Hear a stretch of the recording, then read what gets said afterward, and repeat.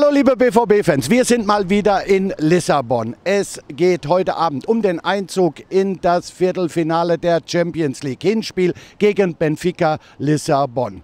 Ich werde natürlich für euch wieder im Einsatz sein, zum Beispiel beim Netradio. Es ist aber noch etwas Zeit bis zum Anstoß und bis dahin schauen wir uns die wunderschöne Stadt Lissabon etwas genauer an.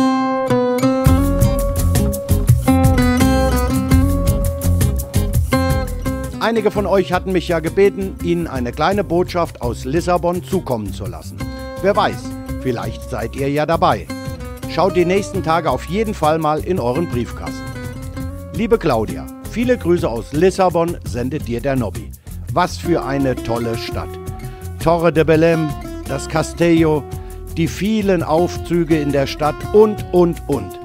Das solltest du dir unbedingt mal anschauen. Die Mannschaft und ich sind gestern mit dem Eurowings Mannschafts-Airbus angereist. Knapp drei Stunden. Eigentlich ein Katzensprung. Da lohnt sich schon mal ein verlängertes Wochenende. Für mich heißt es jetzt aber volle Konzentration auf das Spiel unserer Jungs. Und vielleicht kommen wir bald wieder einmal her. Am besten in der Champions League. Schwarz-gelbe Grüße aus Lissabon, dein Nobby.